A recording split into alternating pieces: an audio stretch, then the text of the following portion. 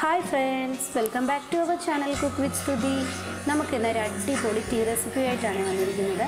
അപ്പം ഇത് special Hyderabadi Irani tea ആണ്. അപ്പം നിങ്ങൾ സാധാരണ ടീ ഒക്കെ വെച്ച് വെച്ചിട്ടുള്ളവർ നമ്മളൊരു ഗസ്റ്റൊക്കെ വരുമ്പം നമുക്ക് അവർക്ക് സെർവ് ചെയ്യാൻ പറ്റിയ ഒരു ബെസ്റ്റ് ടീ ആണ് ഇറാനി ടീ. അപ്പോൾ നല്ല ടേസ്റ്റിയോടും നല്ല ഫ്ലേവറോടും ഒക്കെ കൂടിയൊരു അടിപൊളി ടീ റെസിപ്പിയാണ്.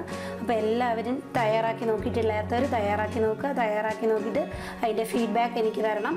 അതേപോലെ തന്നെ നിങ്ങൾ ആദ്യമായിട്ട് എന്റെ ചാനൽ കാണുന്നെങ്കിൽ ഒന്ന് സബ്സ്ക്രൈബ് ചെയ്യുക. വീഡിയോ ഇഷ്ടമായിട്ടുണ്ടെങ്കിൽ ഒന്ന് ലൈക്ക് ചെയ്യുക ഷെയർ ചെയ്യുക കമന്റ് ചെയ്യുക. അപ്പോൾ നമുക്ക് വേഗം തന്നെ ഇറാനി ടീ എങ്ങനെയാണ് തയ്യാറാക്കുന്നതെന്ന് നോക്കാം.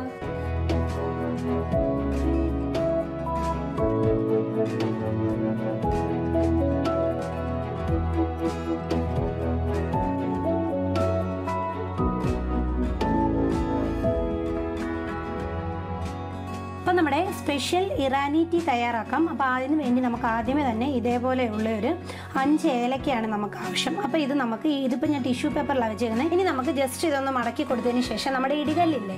നമ്മൾ ചതയ്ക്കാനൊക്കെ എടുക്കുന്നത് അത് വെച്ച് ജസ്റ്റ് ഒന്ന് നന്നായിട്ട് ഇതൊന്ന് ഇടിച്ച് ഈ ഏലക്ക ഒന്ന് ചതച്ച് കൊടുത്താൽ മതിയേ അപ്പോൾ നമ്മൾ കണ്ടോ? ഇടിച്ച് കണ്ടോ നമ്മൾ ഇടിച്ചിട്ട് നന്നായിട്ട് ഇത് നല്ല രീതിയിൽ ഒന്ന് ചതച്ചെടുത്തിട്ടുണ്ട്. ഈ ഒരു രീതിയിൽ വേണം നിങ്ങൾ ഏലക്ക ഒന്ന് ചതച്ചെടുക്കാൻ വേണ്ടി.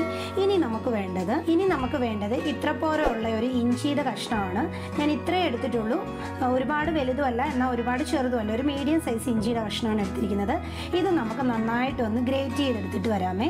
ഇത് നന്നായിട്ടൊന്ന് ഗ്രേറ്റ് ചതച്ചല്ല ഞാൻ ഗ്രേറ്റ് ചെയ്തെടുത്തിട്ട് കൊണ്ടുവരാം. ദേ ഇതേപോലെ ഞാനൊരു ഗ്രേറ്ററിൽ വെച്ച് ആ ഇഞ്ചി നന്നായിട്ടൊന്ന് ഗ്രേറ്റ് ചെയ്തെടുക്കുക അപ്പോൾ നമ്മുടെ ഇഞ്ചി ഒന്ന് ഗ്രേറ്റ് ചെയ്ത് വെച്ചിട്ടുണ്ട്. അതേപോലെ ഏലക്ക ഒന്ന് ചതച്ച് വെച്ചിട്ടുണ്ട്.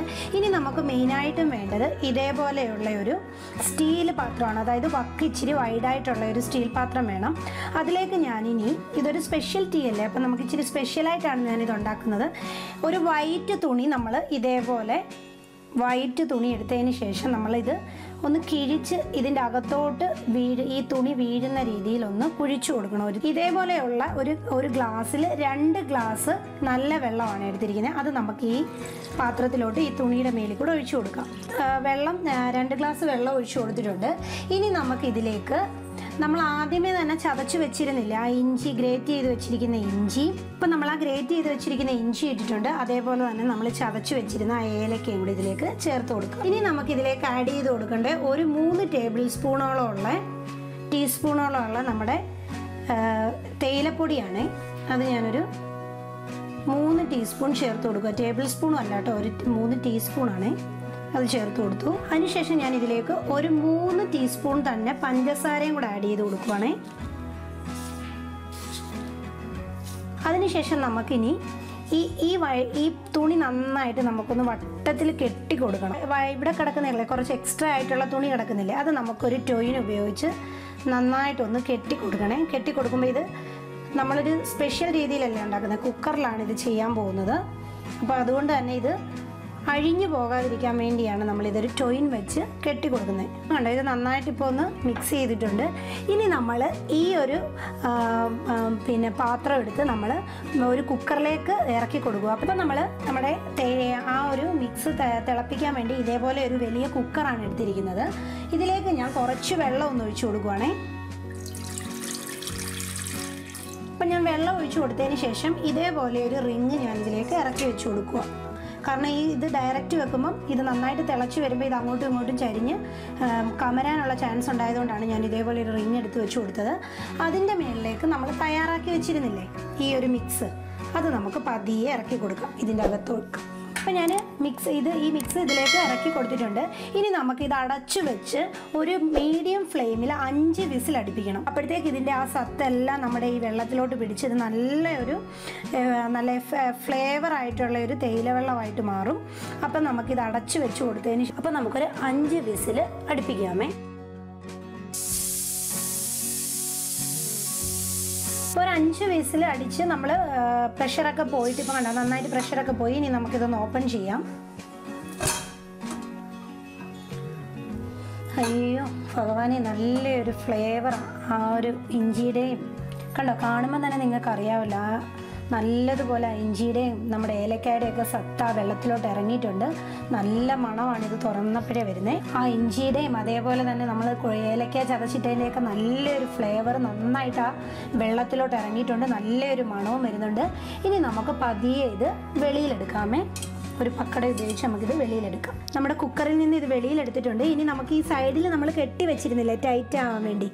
അതിന്റെ ആ ടോയിൻ നമുക്കൊന്ന് കട്ട് ചെയ്ത് വിടാം. അതിനുശേഷം ആ ടൈ ടോയിൻ എടുത്ത് അങ്ങ് മാറ്റാമേ. എന്നിട്ട് നമുക്ക് പതിയെ ഇത് മേലോട്ട് പൊത്തിച്ച് നന്നായിട്ട് ഇതൊന്ന് പിഴിഞ്ഞ് ഇതിന്റെ ആ സത്തൊക്കെ ഒന്നും കൂടെ ഒന്ന് ഇത് വെള്ളത്തിൽ ഇറങ്ങുന്ന രീതിയിൽ ഒന്ന് പിഴിഞ്ഞു കൊടുക്കണം ആ ചൂടോടുകൂടി തന്നെ. ചൂടായതുകൊണ്ട് ഞാൻ ജസ്റ്റ് ഈ മറ്റേ ഫ്രൈ ഒക്കെ ചെയ്യുന്ന ആ ഒരു ഇതില്ലേ അത് വെച്ച് ജസ്റ്റ് ഒന്ന് പ്രസ് ചെയ്ത് കൊടുക്കുവാണേ. ഈ ചൂടോടുകൂടി തന്നെ ചെയ്യണമെന്ന് പറയുന്ന അപ്പോൾ ആ ചൂടോടുകൂടി തന്നെ ഇരുന്ന് അതിന്റെ ആ സത്തൊക്കെ നമ്മുടെ വീണ്ടും ആ വെള്ളത്തിലോട്ട് അങ്ങ് ചേരും. അതിനു വേണ്ടിയാണ് ഞാൻ ഇങ്ങനെ പറഞ്ഞത്. ആരും കൈ കൊണ്ടൊന്നും പിടിക്കാൻ നിൽക്കണ്ട കേട്ടോ.